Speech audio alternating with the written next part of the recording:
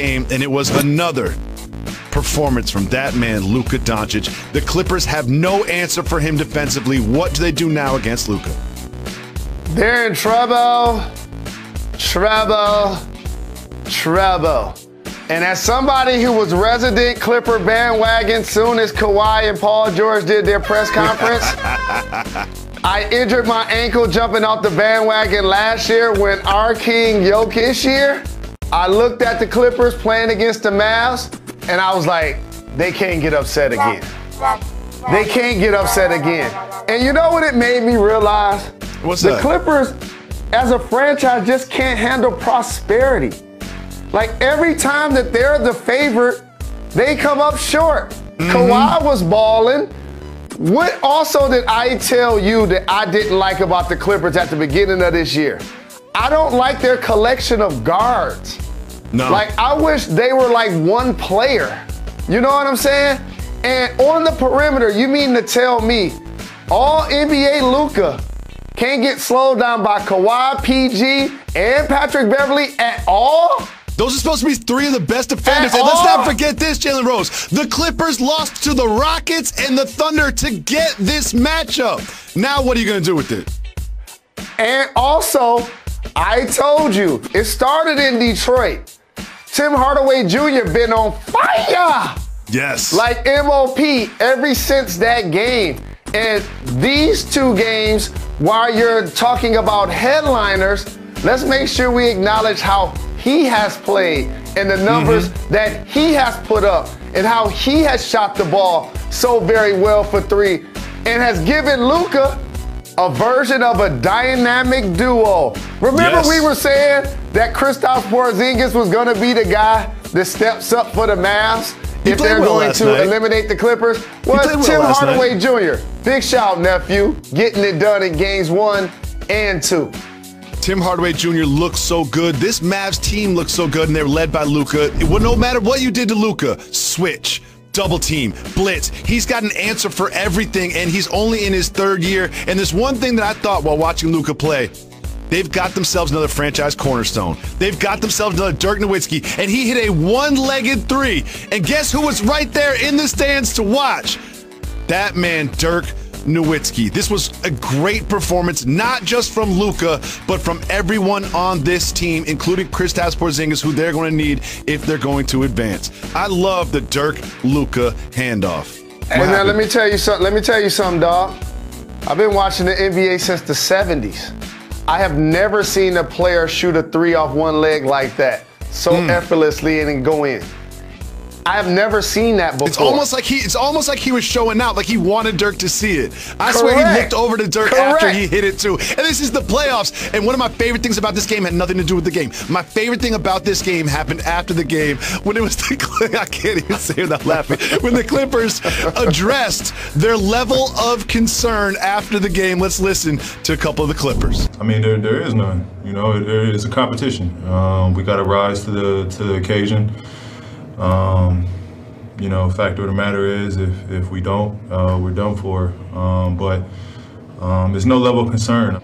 Uh, I'm not concerned. Like I said, they got to win four games. You're not concerned? You're down. You lost the first two games at home to Luka, and you have no answer for him, and you're not concerned. Like, why not just be honest and say, you know what, we're in trouble. We got to fight back and win this series. You know, I don't judge by what people say. I judge by what people do. And when you look at that Paul George interview, he wasn't looking up. Head down. He was looking down. Good brains. Okay? And Luka, they don't have answers for him, Jacoby, because what I noticed is he has the size, the bulk, and the versatility to go against the bigs like Morris, but still he got the skills to boogie against the smaller guys like Beverly. And for mm-hmm. all of those Clipper fans out there, and our producer Demetrius is one, like, I just want you guys to know if y'all lose in the first round to the Dallas Mavs, after getting bounced last year when you were up 3 1 to the Denver Nuggets, I don't want to hear nothing.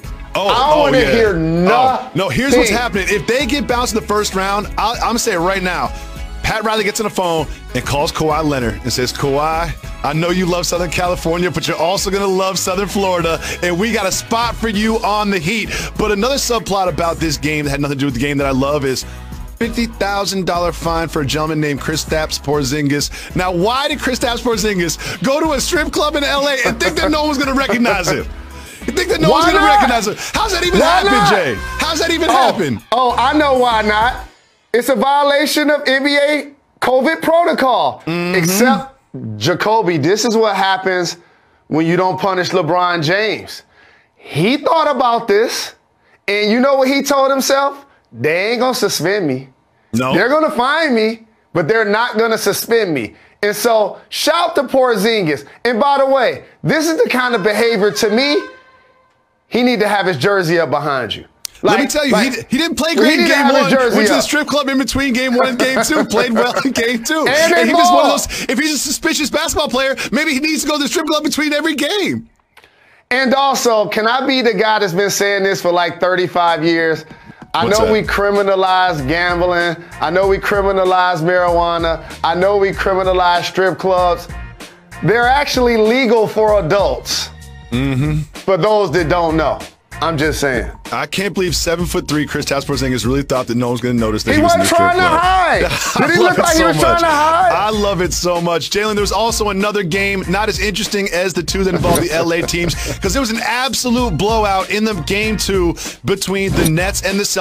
Jacoby, we are Jalen and Jacoby. What is What it that we do? We get the people what they want. Another show of NBA playoff action. The Mavs put the Clippers in trouble. The Nets look great, but we start the show with the Los Angeles Lakers getting a much needed win to tie up the series against the Suns. Everybody looked good on the Lakers. Jalen, what was your biggest takeaway from this win?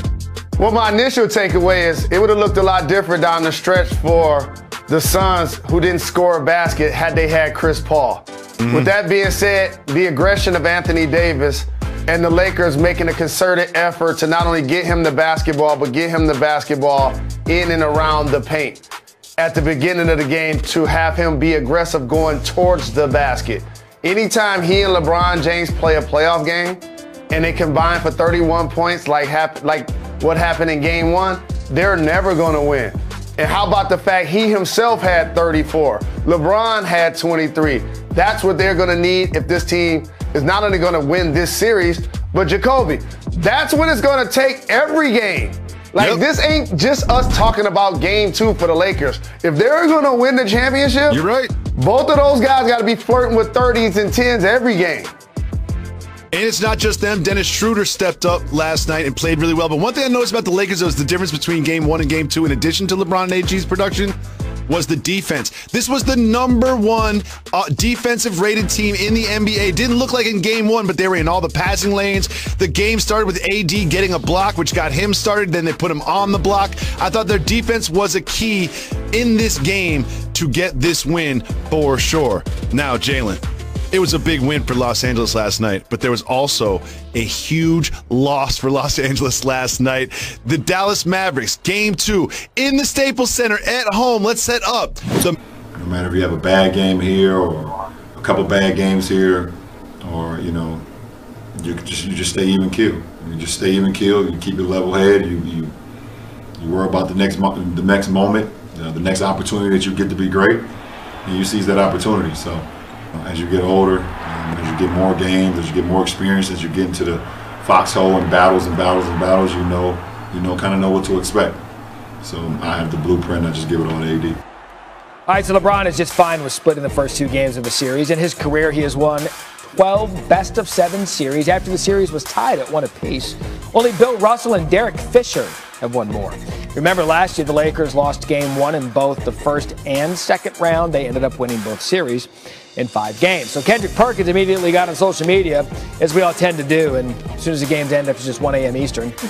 I've got so much I want to tweet about tonight on this app, but I'm going to save energy and every word for every damn show I'm on tomorrow.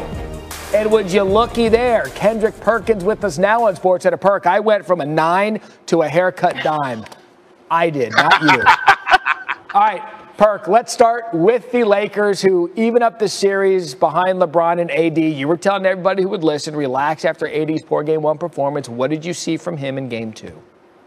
Well, I saw Anthony Davis be the generational talent that he is, right? One of the best in the league. This is the AD that everyone has grown to love. This is the AD that's that's a top five player in the NBA. He attacked. He attacked the paint. He did not settle. Got to the free throw line like I said he should, and he did.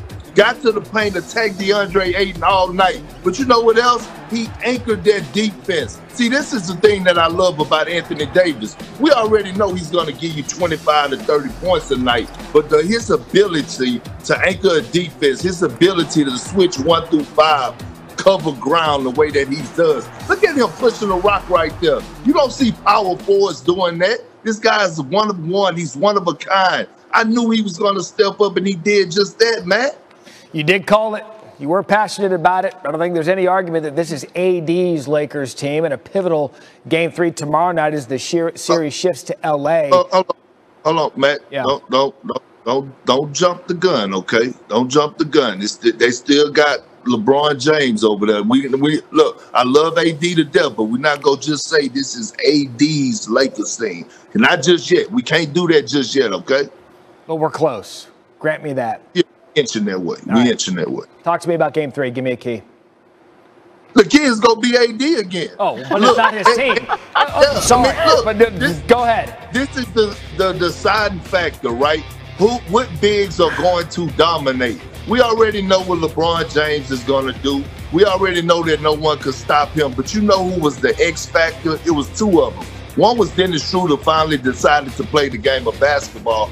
Andre Drummond, in his minutes, he was excellent last night. A double double. I love what Frank Vogel did. We're going with big Marcus Gasol down the stretch a guy that could stretch the floor. See, what he did was he didn't play Montrezl Harrell because Montrezl Harrell clogs up the paint. So you could play Gasol and Anthony Davis together and let Anthony Davis be that live threat at the basket while big Marcus Gasol, the big Spaniard, he pop picks and pop for that tray ball.